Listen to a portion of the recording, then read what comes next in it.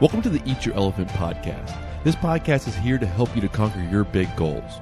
Because the big things in your life that you want to accomplish and achieve, they're going to take more than one step. And this podcast is here to help you develop the right mindset to take the actions to keep moving forward and making progress towards your big goals.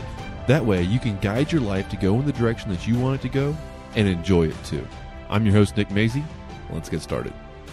Well, hello there. Welcome to episode 59 of the Eat Your Elephant podcast.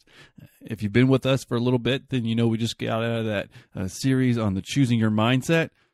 Clearly, I think it's an important, uh, valuable thing to do to choose your mindset that you want.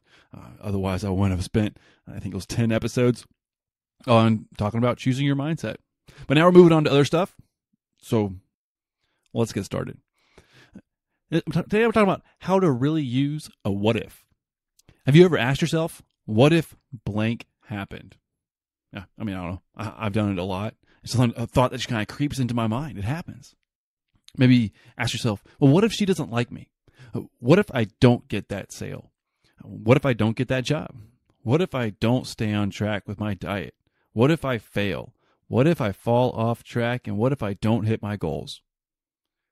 Well, those just sound like they kind of suck. The big problem with asking what if is that a lot of the time it's not something helpful. In fact, most of it, it ends up being something harmful. So it's like on, on those examples, what if she doesn't like me? Okay. He or she might not like you. That's life. That's okay. Uh, the, but the problem with focusing on the possibility that somebody won't like you, then two things happen first of all, uh, if you focus on them not liking you, then you might not even approach them.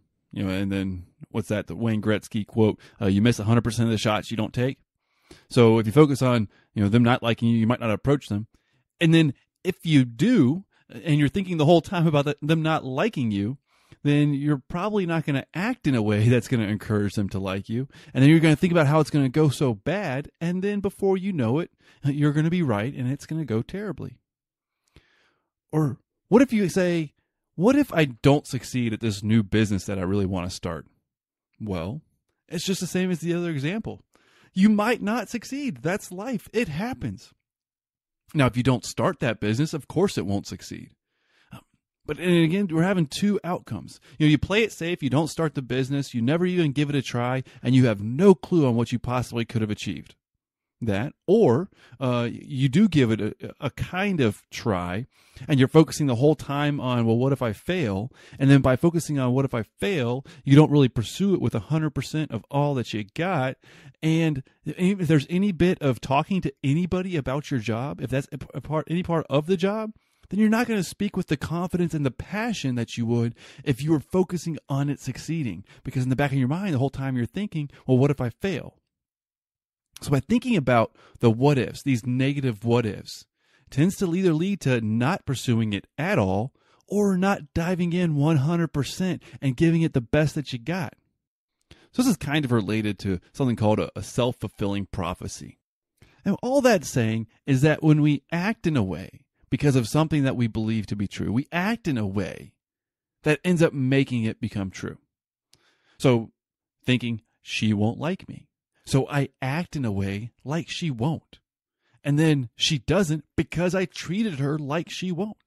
She thinks, I think, well, maybe my business won't succeed. So in my mind, I'm thinking that it won't succeed. So I act in a way like it won't succeed. And then it fails because I didn't fully commit and truly believe in the product or the service that I was offering.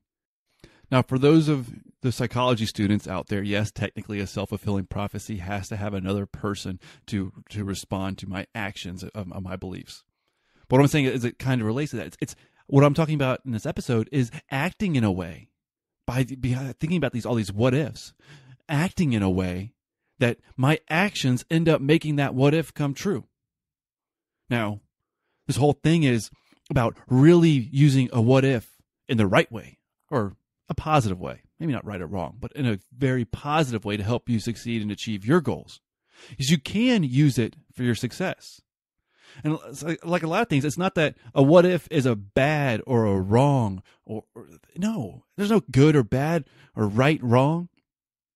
Not with what ifs. It's just how you use it. Are you going to use it in a way that's going to help you to succeed and achieve your goals and enjoy life? Or are you going to use it in a negative way that a lot of people just, it's easier to think in a negative way. It doesn't take any effort. It just happens. Or are you going to take a little bit of effort and be intentional and use it for a positive thing that can help you to have the life that you want? So, what if she does like me? I think I may have been using that "what if she likes me" example, uh, just thinking back to asking my beautiful wife out for the first time. Um, but that aside, what if she does like me? Well, then I go for it.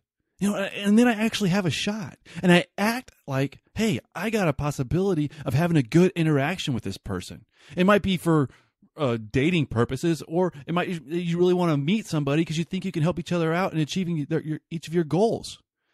So you think the what if in the positive way, and then let the actions follow that. What if I start my business and it works? That would be amazing. Think about that positive side of it, and you'll put forth more effort. You'll really believe with passion and certainty and confidence that you can achieve, and your actions will show that. And when your actions show that, you're more likely to succeed. What if, what if I can lose weight and make my health a priority? See, even when I just say those words, I feel like there's more passion and emotion coming out. And how amazing would that be to actually feel good and have energy and love it? Well, you can. You, you can because you think about those what ifs and see the possibility that's in the future. So you're, you're creating your future. You're creating your future right now by your actions. So all the what if is, is what if you actually gave it your best shot and you made it happen? That's not something that's a, a what if to anybody else but you because you are the one that's going to choose your actions and can make it happen. See the possibilities that I out there. I say, hey, what if this actually worked? What if what if you actually tried your absolute best, made your health a priority, or do- dove into starting that business that you really wanted to and make a difference in the world? You can use these positive what if scenarios to help you set goals, take action, and enjoy life. Asking what if isn't wrong or bad. Just use it in a way that's going to help you to have the life that you want. What if what if you really pursued your goals? What could that look like? It could be pretty amazing. All right. Well, that's a that's the episode for today. Thanks for listening. Hope you enjoyed it. Uh, thanks for listening to this podcast. For more information and resources and all kinds of good stuff, past episodes and, and posts with the show notes and all that, go to nickmaizy.com. If you're interested in some of the books that helped shape my mindset and where I get a lot of information from and that just fuel for my fire, uh, go to nickmaizy.com slash books. Thanks for listening, and I'll talk to you in the next episode.